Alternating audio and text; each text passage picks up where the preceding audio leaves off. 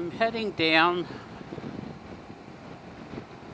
to a, a road called Brenner Pass Road.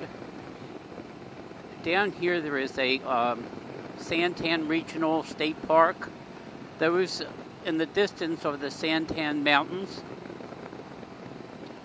Well, not that distant. So there is a San Tan Regional Park, has hiking trails and various other things.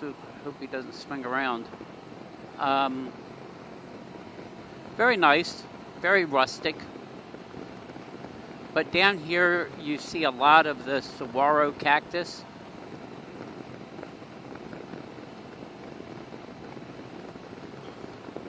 They only grow in the Sonoran Desert, which is strange.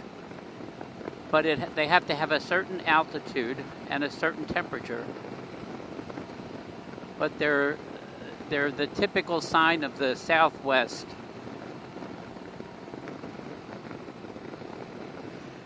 As we get to Brenner, this is Thompson Road. A little bit further down, it changes to Brenner Pass Road. And from there, it is a really windy, interesting road. I did one video a few months ago going down this way. I lost a cup down this way. I hit a bump and the cup flew out and because of the blind curves and everything else, I didn't go back and get it. So I lost the cup, and it was a nice one. I should have put a bungee cord on this one, but I didn't. It's always good when you're heading down into nowhere that you take along some ice water because it could be a long wait to get a, a tow truck. At this stop sign, the road changes names.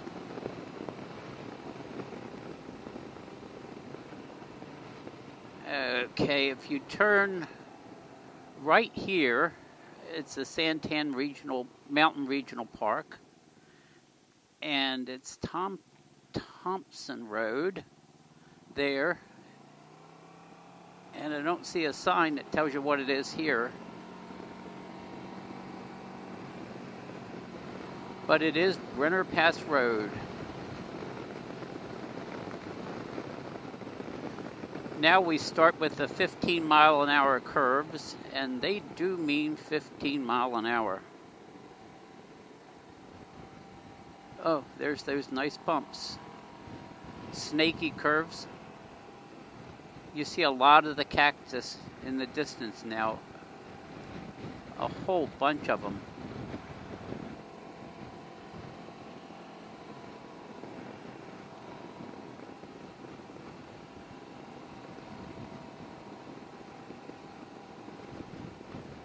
See where the birds make nests in them and peck holes in them.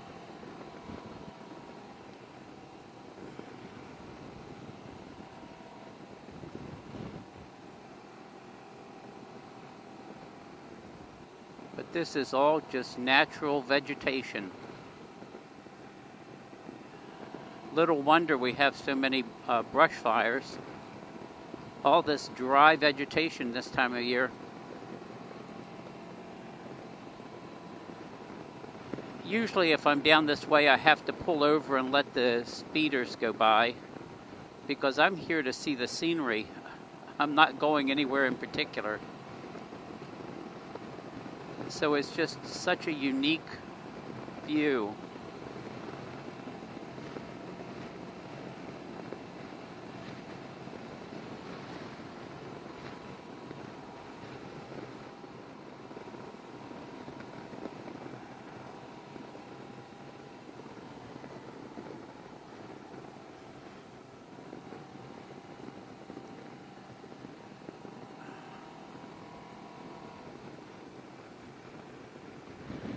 There are people who live back in this direction. A little bit further down, we'll get into quite a few homes.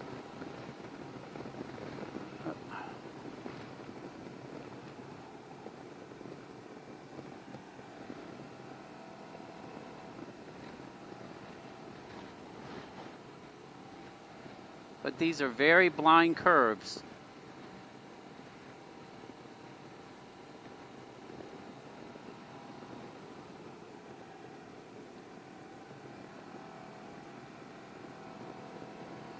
It is quite the scenic ride, though. I really enjoy this. Not so much in a car, but on a motorcycle, you get to see all of the scenery around, the various vegetation.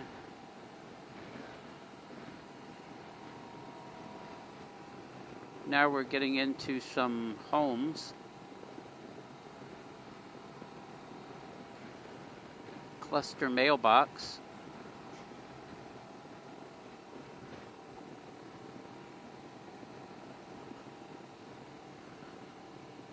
Lots of people have horses here.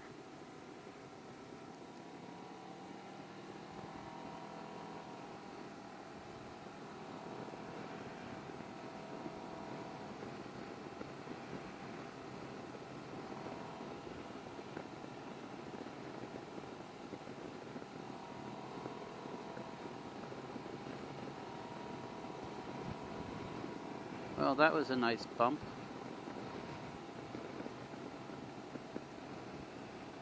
Brenner Pass.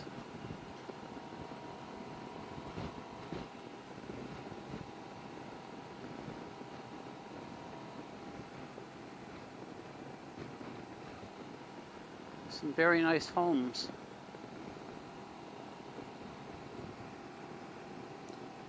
I like the Santa Fe style.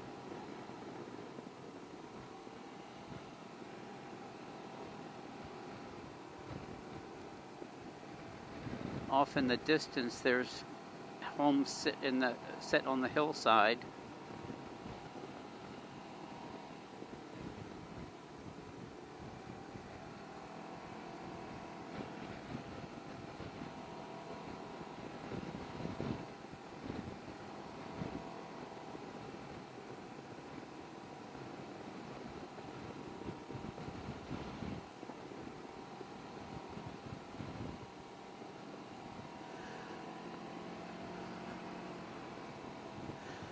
the last time I was down here, I didn't have a, a really good camera, so the pictures were kind of blurred.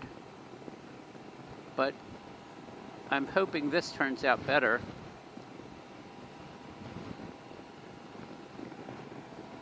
So far, nobody's behind me.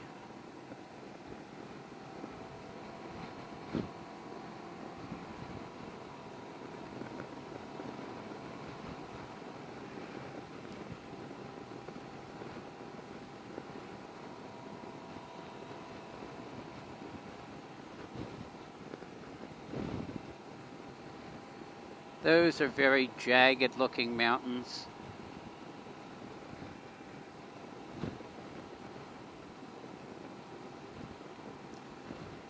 All these are scenes reminiscent of a lot of the Old West movies.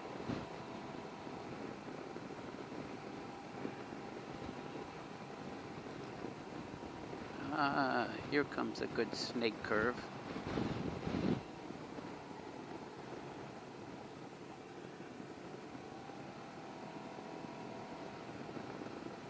Looks like they've come through here and paved. Or at least filled in a lot of the potholes.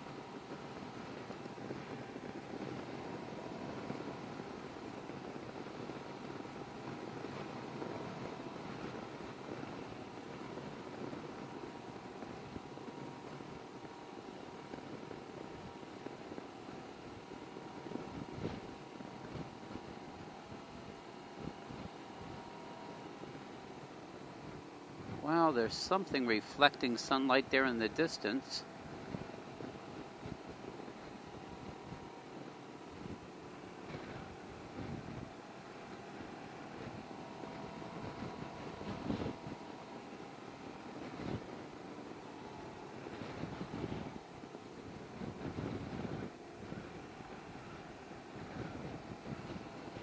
Alright, here's where I normally turn around and go back. But this time I think I might just take a trip to the right. these are unmarked roads, so I'm not sure how far back they go. It didn't have a dead end sign.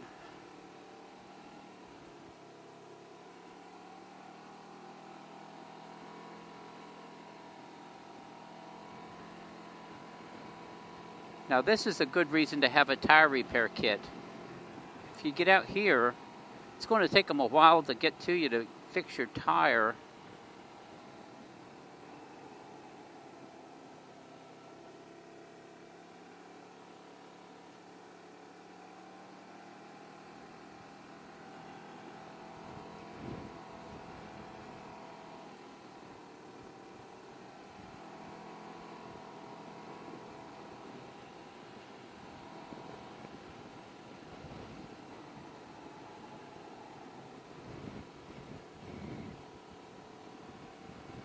Interesting.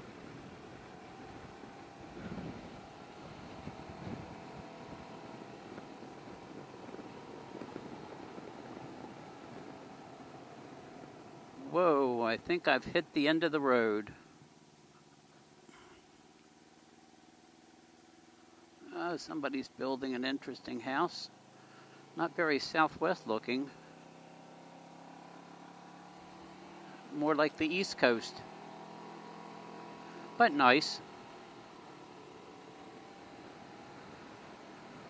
I've lived all over the country.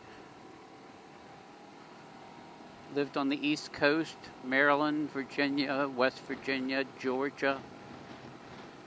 Central, lived in Houston, Texas. Lived in California two times, mostly in the San Francisco Bay Area lots to see and do out there. It would be nice to have had a Ryker out there. Had my motorcycle when I lived in California. The freeways were just a um, traffic jams.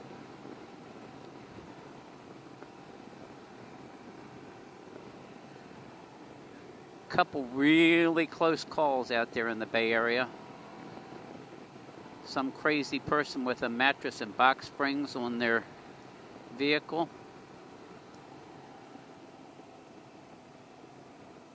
And they it flew off it hit the road cars hit the box springs blew out their tires. Cars just swerving all over the road and luckily i managed to weave through the needle. Scared the bejeebers out of me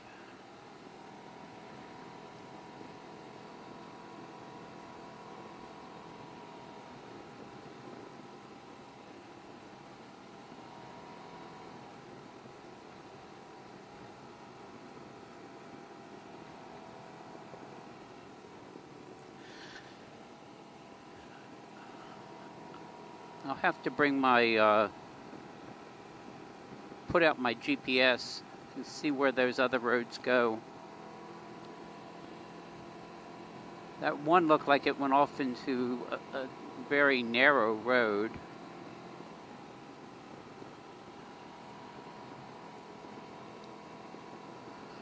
But this is a very relaxing trip. It was um, when I got up this morning, it was 85 degrees. I'm not sure what the temperature is right now, but it's going to be a hot one again. Uh, it's not much hotter. It's 80, well, down here it's 88 degrees.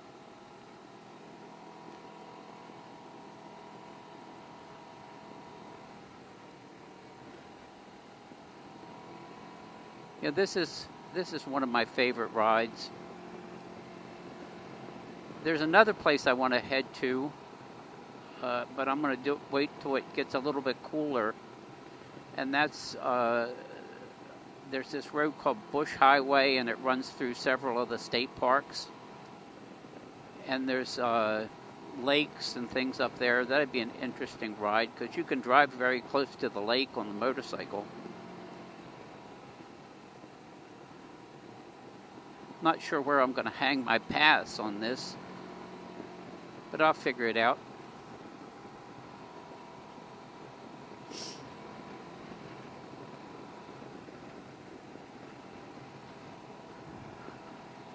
I have a lifetime pass to all of the national parks.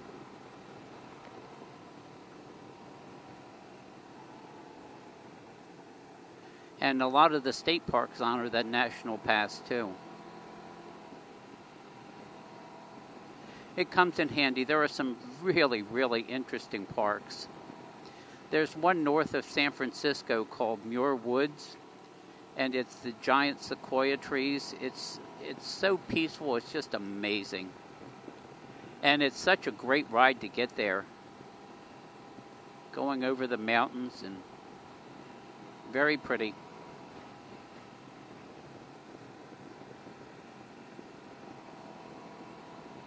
I did a lot of sightseeing when I lived in California.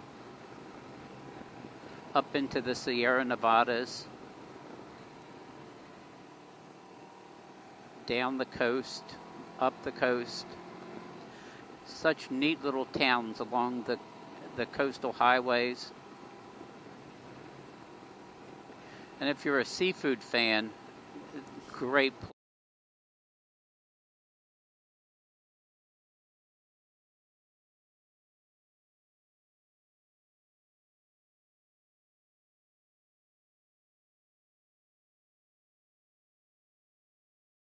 Up? Well, crap. Uh, well, I guess I'm, if I'm thirsty, I'm going to have to stop somewhere. Damn.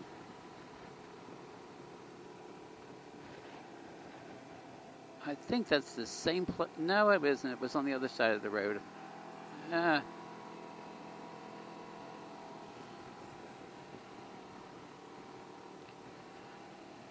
had that cup for a long time too. I could probably go back and get it. And do I want to or not? If I go back, I could reach down with. Eh, it's probably broken inside.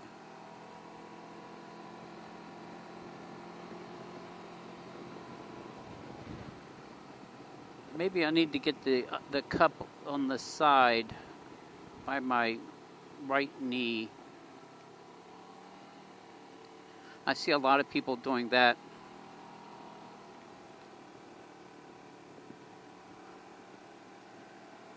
Either that or wear a backpack.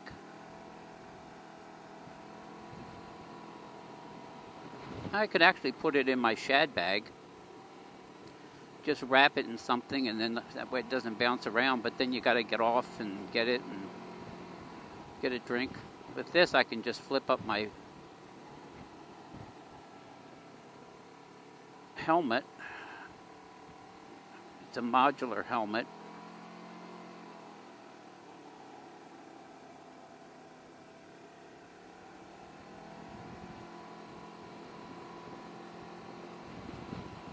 Well, that didn't work. Ah.